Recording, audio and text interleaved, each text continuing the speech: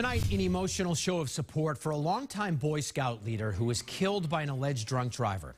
Dressed in uniform, scouts came together tonight for a man who, as the Boy Scout Honor Code demands, helped other people at all times.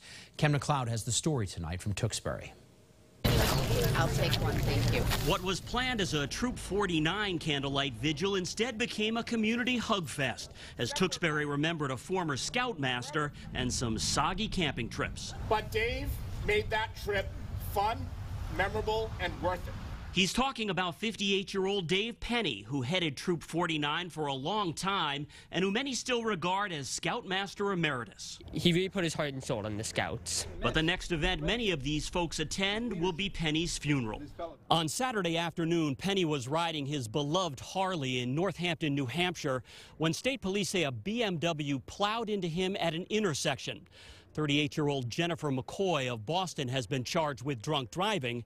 She wasn't hurt, and neither was her teenage passenger. I, I, it came out of nowhere. And what's been lost, say those who knew him, is a valuable community resource. Somebody who went above and beyond to do what he could to make sure they had an amazing scout experience. And that's something that'll stick with these young scouts for a long time.